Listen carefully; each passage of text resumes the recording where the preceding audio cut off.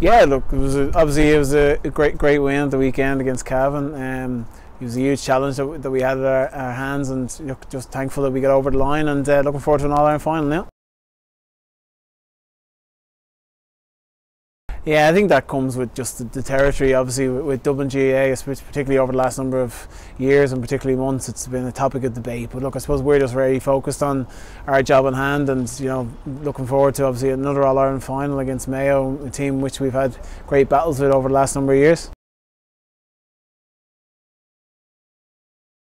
Um, and no, look, I think we have to respect each and every opposition that we, that you play against, and you know, as I said, we've had terrific rivalries and, and games with, with Mayo over the last number of years, and uh, look, it's just another game that we're really looking forward to. It's an All Ireland final and a week before Christmas, so what's not to look forward to? Last year obviously was a unique year in terms of being the first team to obviously to, to achieve um, five in a row part of the history but you know we're very much focused on this year in particular and we're, we're not looking at you know years gone by and there's obviously new guys on a panel now as well so for them it's it's like they're they're, they're very first so that's how we're treating it and uh, yeah just looking forward to getting to the pitch on the 19th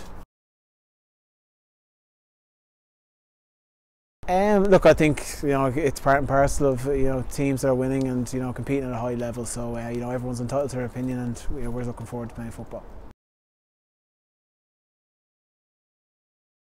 I think one of the big things is that you know we're probably all best friends and we've a unique bond together that we've built up over the last number of years from winning, um, particularly winning close games. And I think that's something that certainly stood to us in, in good stead. And you know, as I said, we're all best friends of one another. We, we have socialised together and been to weddings together. So it's uh, you know it's, it's certainly a massive part of our uh, success. Yeah, yeah. Well, I suppose look, we, we've obviously got a great strength and conditioning team there. Who obviously look after us to the best of their ability and have us peaking at the right times for, for each game that, that we play. And you know, everyone is diligent in what they do off the pitch as well in terms of recovery. So that, that just enhances your fitness levels and, and makes sure that you're ready for, for game day. Yeah, look, I think an All Ireland final with no crowd is obviously it's it's, it's novel and it's, it's unique, but so we've been quite used to playing in front of no crowds this year, uh, particularly here in Parnell Park with no clubs during the club championship, and then obviously in Croke Park. So it is strange, but I'm sure we'll um, have lots of support from people sitting at home on their on their sofas. Yeah, look, the very best luck to the ladies on the, the 20th. Um, they've obviously got their own All Ireland final, and you know all their focus will be on that. And you know I think they're going for four in a row, so just the very best luck to them.